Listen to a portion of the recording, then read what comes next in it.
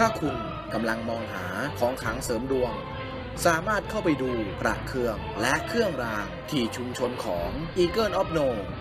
มีเครื่องรางของขลังมากมาย ให้ท่านได้ร่วมประมูล และเช่าบูชาเพื่อเสริมดวง หรือ แอดไลน์ ID at smq 0599t อย่าลืมไปร่วมสนุกกันนะครับ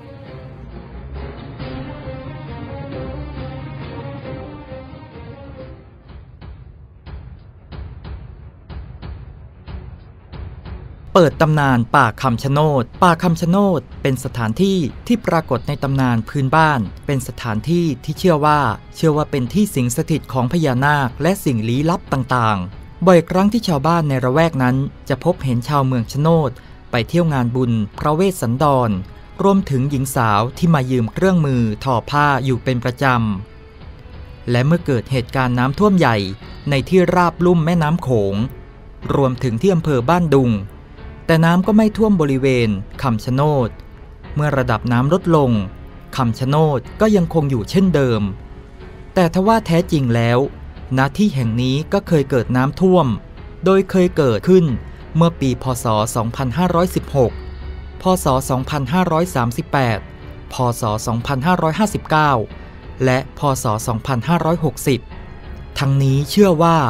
เกิดจากการที่มีการก่อสร้างถาวรวัตถุ มากขึ้นกว่าเดิมในอดีต จึงทำให้พื้นที่ของเกาะ ซึ่งลอยน้ำอยู่นั้น มีความหนักจึงเป็นสาเหตุที่ทำให้จมน้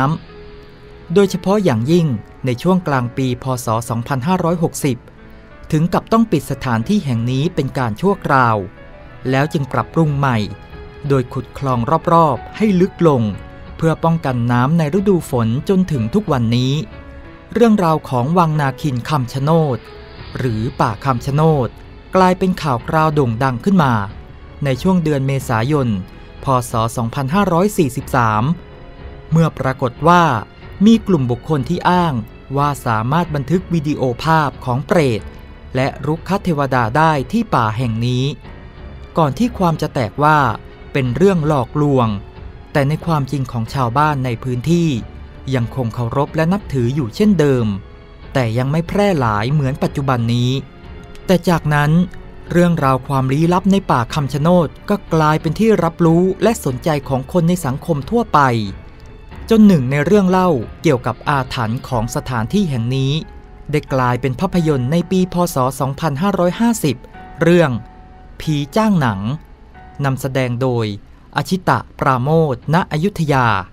และพักรมัยโปตรนันท์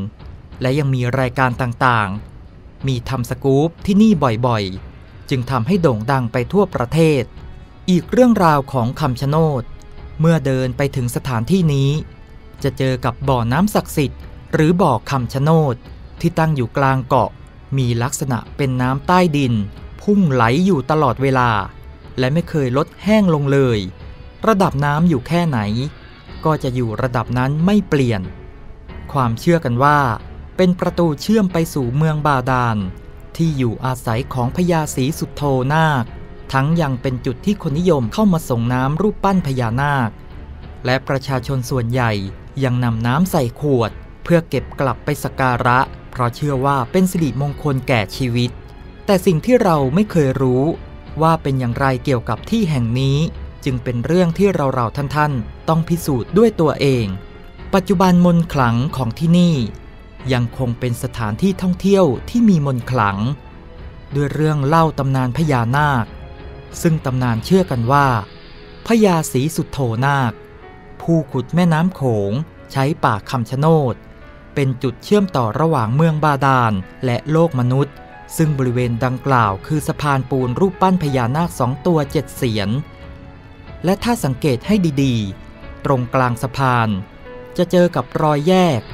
ซึ่งเชื่อกันว่าเป็นรอยต่อระหว่างโลกมนุษย์กับบาดาลนนั่นเอง ซึ่งถ้าหากท่านมาดูด้วยตัวเอง จะรู้สึกและสัมผัสด้วยตัวเอง หลายๆ เรื่องที่เกี่ยวกับสถานที่นี่ บางเรื่องสุดจะหาคำตอบได้ ที่ที่บริเวณนี้ก็เคยเกิดน้ำท่วม โดยเคยเกิดขึ้นเมื่อปี พศ 2516 พศ 2538 พศ 2559 และพศ 2560 ในเรื่องโชคลาภวัดป่าคำชะโนด หลายๆ คนอดถามไม่ได้เกี่ยวกับโชคลาภว่า บูชาพญานาคจะมีโชคลาภหรือไม่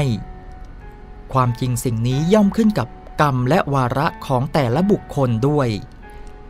ส่วนพญานาคนั้น ท่านเป็นผู้ที่สามารถเข้าถึง ทรัพย์ในดินและสินในน้ำสัญลักษณ์แห่งความอุดมสมบูรณ์ จึงทำให้มีผู้คนเดินทางไปกราบไหว้สการะ และขอหวยกับเจ้าปู่ศรีสุดโธเป็นจำนวนมาก และมีผู้ประสบผลสำเร็จได้โชคลาภมากมายหลายคน เรียกได้ว่ามีความศักดิ์สิทธิ์ จนกลายเป็นกระแสในหมู่คนเล่นหวยและเสี่ยงโชคทำให้มีผู้คนไปกราบไหว้อย่างล้นหลามในทุกวัน ความเชื่อเรื่องพญานาคของคนที่นี่นั้น อาจไม่แตกต่างจากชาวหนองคายที่เชื่อว่า พญานาคมีจริง บังไฟพญานาคเกิดจากอิทธิฤทธิ์ของเจ้าแห่งเมืองบาดาล ไม่ใช่ฝีมือของมนุษย์ธรรมดาเหมือนเมื่อครั้ง ถูกนำเสนอผ่านหนัง รวมถึงสื่อทีวีบางช่องเมื่อหลายปีก่อนโน้น ชาวบ้านละแวกป่าคำชะโนดก็คล้ายกัน พวกเขาสร้างทางเดินที่เชื่อมจากโลกภายนอกกับผืนป่าอันศักดิ์สิทธิ์เข้าไว้ด้วยรูปปั้นพญานาคสองตัวเจ็ดเสียนนอนเลื้อยยาว ไปจนสุดทางเดินราว 300 เมตร เพื่อสะท้อนถึงพลังอำนาจและบารมีของพญานาคราช กระทั่งในวันออกพรรษาขึ้น 15 ค่ำเดือน 11 ชาวบ้านก็มีความเชื่อว่า เป็นวันที่พญานาค จะขึ้นมาหายใจ ดวงไฟสีแดงที่ผุดกลางบ่อน้ำแล้วลอยขึ้นท้องฟ้า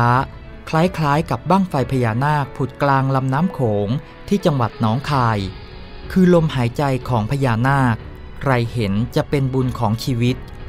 ป่าคำชะโนดยังมีเรื่องเล่าอีกนับไม่ถ้วน ทั้งที่สร้างความรู้สึกชวนขนลุก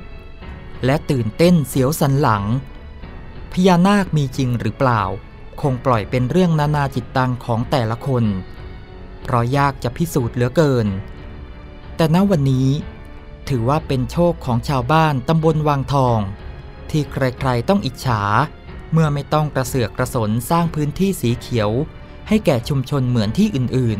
ๆ บางทีเรื่องเล่าระหว่างพญานาคกับมนุษย์ อาจไม่ได้เหลวไหล หรือแค่หลอกคนอีกต่อไปเสียแล้ว